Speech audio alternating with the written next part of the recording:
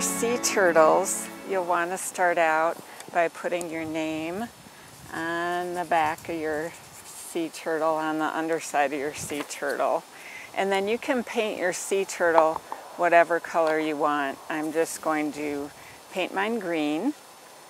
And you don't want to do a really heavy coat of paint because you want this to dry pretty quickly so that you can get the, the body woven on it.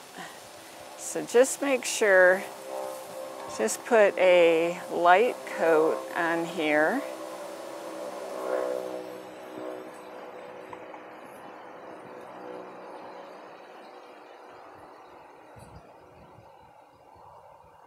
Get it all covered and then set it aside to dry. And then this, you're going to take a piece of blue paper to make your ocean.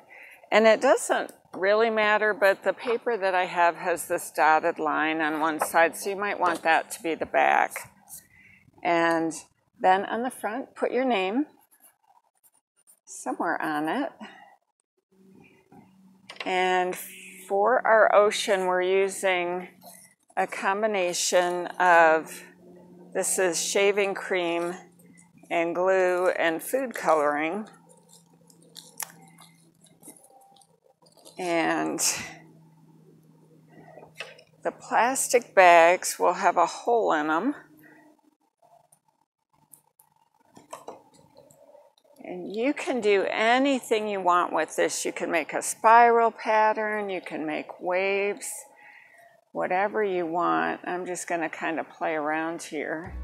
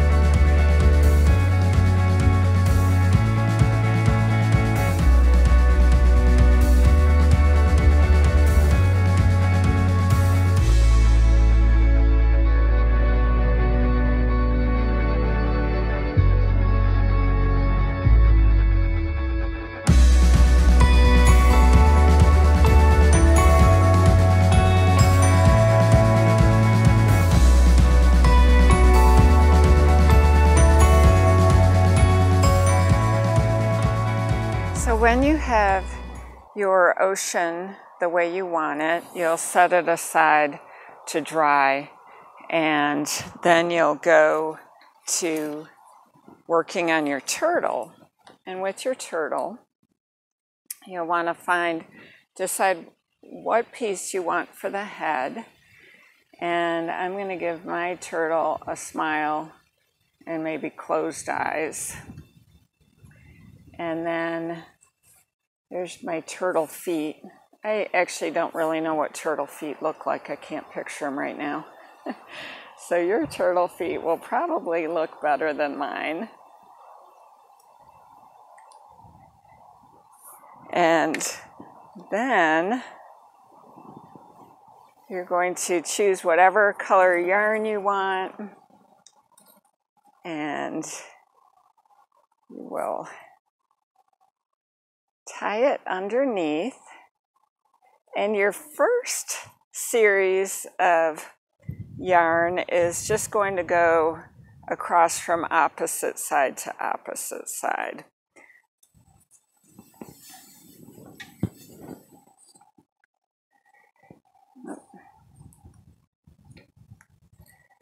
And the main thing you're trying to do is just get your the body covered.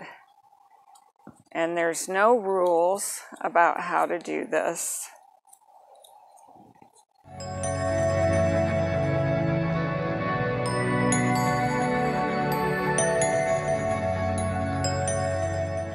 And then once you get this center really well covered, again, there's no rules with this, but I, I found a good pattern to do is you go over two sticks under one, over two, under one, over two, under one. And that seems to work pretty well for covering the rest of it. Now, if you want to, you can change yarn colors as often as you want. And the way you do that is just clip off your one color and then, whoops, tie another color in on the bottom.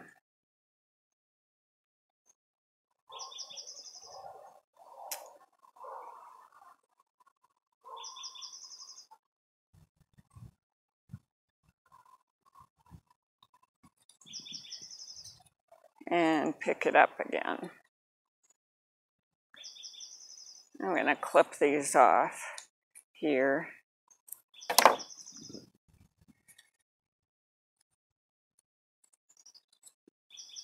So under one, over two,